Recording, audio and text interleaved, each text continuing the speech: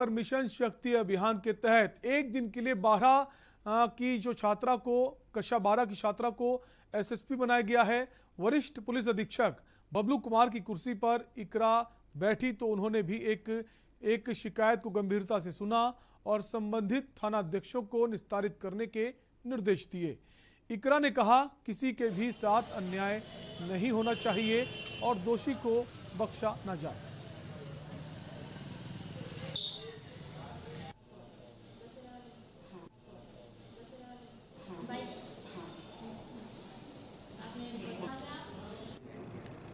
मेरा नाम इकरा है। आज मैंने आईएसपी का पद ग्रहण किया है यहाँ पर आकर।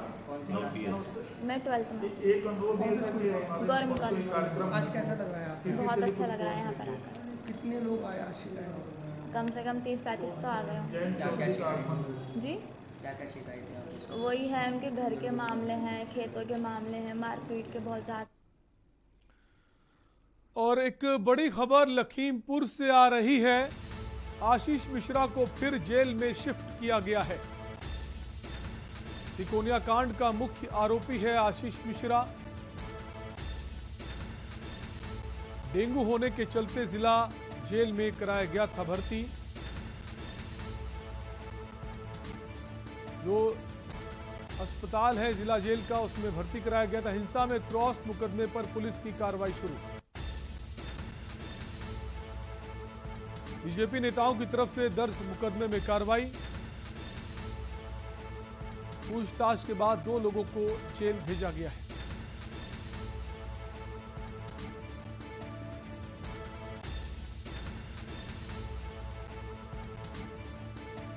लखीमपुर खीरी से आपको खबर बता रहे हैं,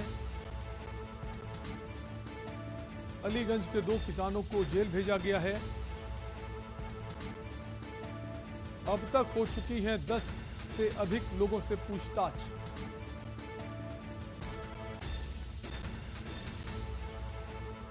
आशीष मिश्रा को फिर से जेल में शिफ्ट किया गया है। डेंगू के चलते जिला अस्पताल में भर्ती कराया गया था।